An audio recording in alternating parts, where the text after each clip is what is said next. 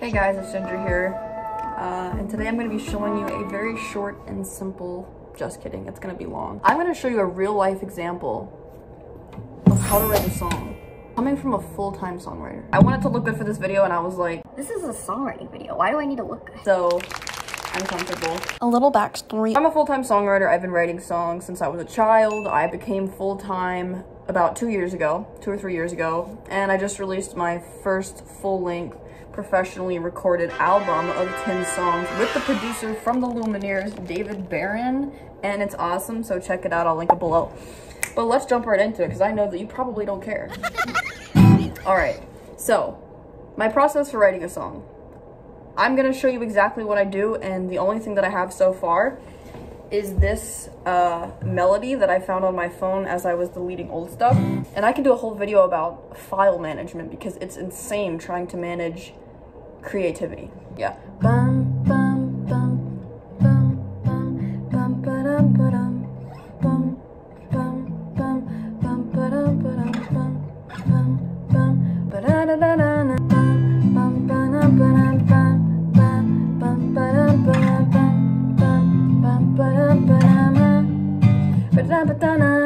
That's literally all I have. Yesterday I was eating dinner alone and I wrote some lyrics at the dinner table because I didn't know what else to do. And I had a melody for these lyrics. Okay, so as you can see in this Google Doc, I literally just have a bunch of stuff.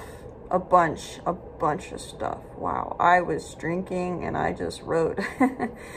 I wasn't drinking that much. I'm not much of a drinker, just to be clear. Um, okay. So, um, so this is this is literally my process. I write about what's going on in my life, and usually I have a melody. Let me just get the melody real quick. Okay, so usually when I'm writing lyrics, I I just hear a melody because I've been writing songs so much. In this case, I was listening to the music at the restaurant, and I don't really know much about music theory, so I end up coming up with my own melody. Um, and the melody is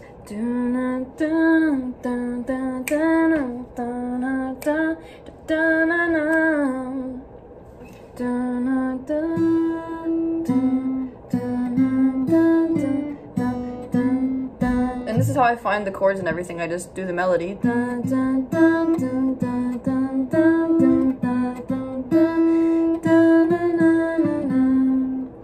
So I assume it would be C.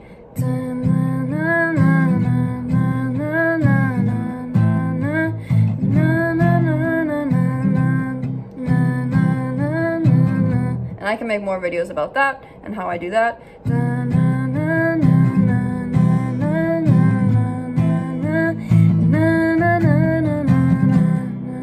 That's.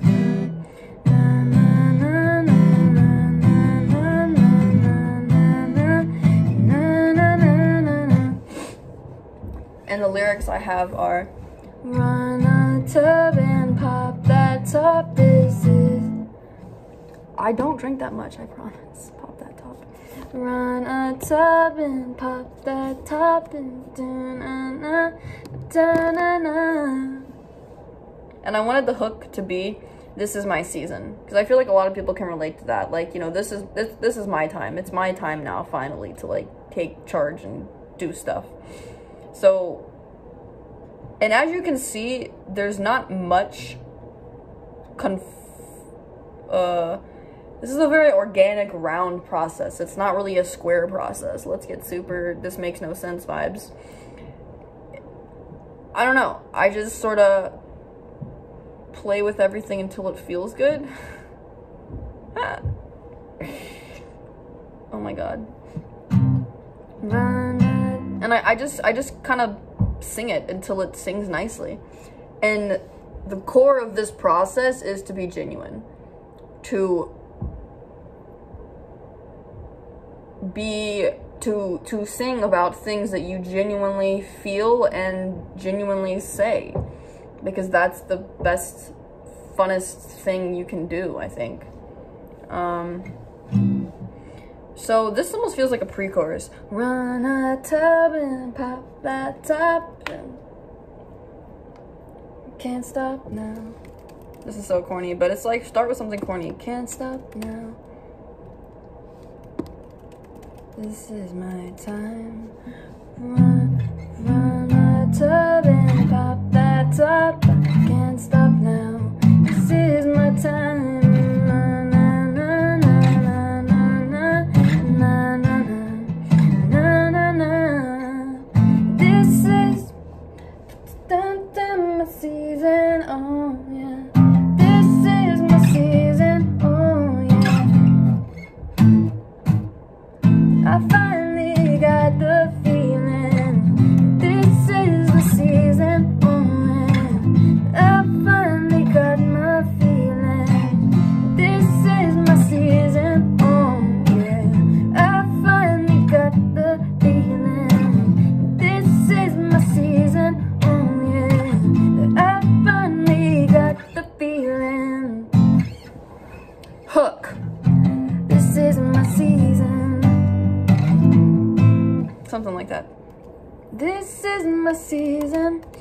The. This is my season. I got the feeling. Oh, yeah. This is my season. I got the feeling. Oh, yeah. Can't stop. Can't stop my dreaming. This is almost like a chorus B. Oh my god. I love songwriting so much. Can't stop my dreaming. I got the feeling. Oh yeah. This is my season. I got the feeling. Oh yeah. Summer vibes, summer vibes. Okay, so I literally already have my chorus. I, I've taken Ryan Tedder's songwriting course. I've taken so many songwriting courses. I'm literally taking like my sixth songwriting course. The chorus is the most important part of the song. Start with your chorus. Start with your concept. That's like the literally the root and the whole song grows from that concept slash chorus. And the melody of the chorus is so important. Literally, I can make a whole video about writing a melody to a chorus. Oh my god, this is so interesting. Okay, so if you didn't, if you if you haven't noticed, I changed the chords. This is my season.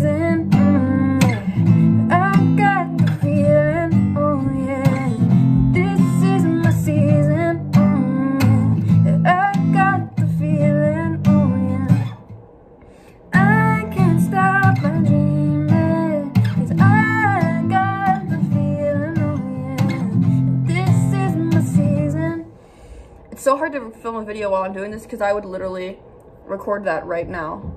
Let's just. Shh. I like songwriting is such a flow that I'm so frustrated right now that I have to download this app to record voice memos on my computer. Okay, I got it. So typically I wouldn't be recording a video right now on my phone, I'd be recording the audio and I would just do a quick, this is my feeling.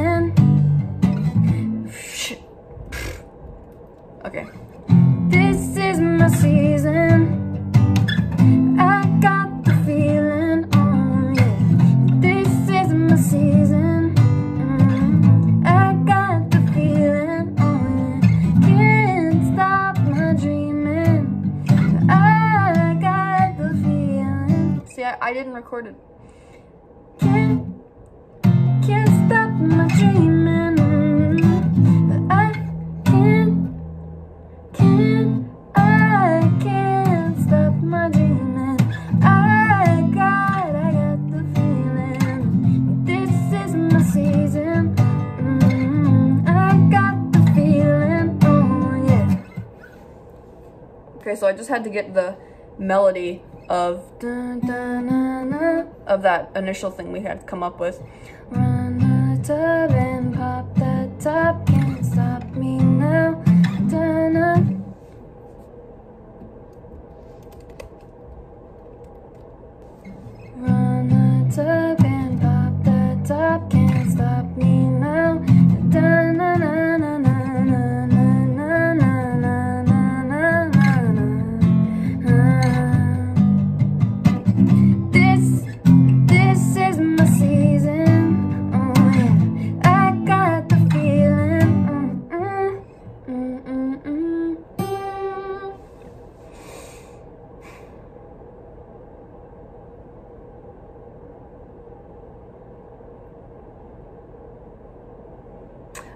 So this is from a real experience. I feel like that's the best way to write a song is from a real experience. I took a tub. It's my first time in my life I ever had a drink in the bath. I thought it was really cool. I was eating some chips and uh, something else. Can't remember. But um, I feel like this this song is very genuine to me because this I, I sort of feel like this is the season of my life. Like it's false to think that you hit achievement at some point, but I feel like I'm finally able now to be my genuine self and you know like accept my gifts and my faults and sort of move on from there. So that's the concept of the song. It's always good to just write concept at the top of your lyric sheet, if I could actually spell it, concept, and just write whatever your concept is. So therefore, when you're writing your lyrics and you're writing your verses and your bridges and all that stuff, you're keeping your concept in mind, which is very important. This is my season of life. And I feel like it would be really cool to put somewhere in there that it's false to think we hit achievement at some point. If we stop growing, we die. And what I've been doing recently, and this is tremendously, as someone who wasn't naturally a lyricist and who was more into chords and melodies, this literally has helped my songwriting and taken it to a whole new level. So when I'm writing, if you've watched my other videos, you probably see me talking about this. So when I'm writing, I will just write down exactly what I said. It's false to think we hit achievement at some point. If we stop growing, we die. That doesn't even sound like a song lyric, but I have the visuals and the words that I want. And so once I have that on paper, I can take that and turn it into something that's singable. Um, and a lot of the times that can actually be singable if you work with the melody. So right now we have Run tub and pop that top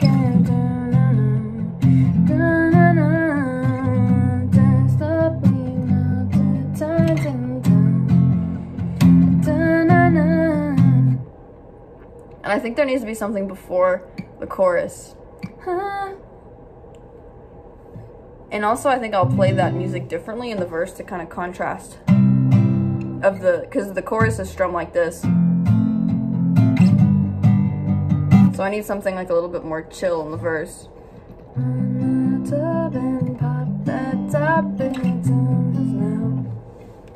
Time is now.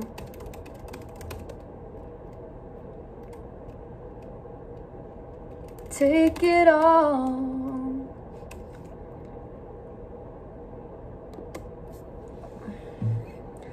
Run run the tub and pop that top. The time is now to take it all. False to think that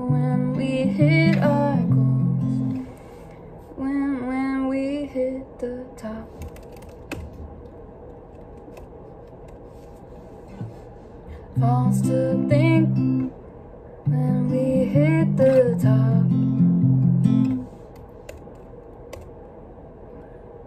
We can't. I don't know. Run the tub and pop that top. The time is now to take it all. False to think we hit the top and then we can't. We cannot fall. Came is my this,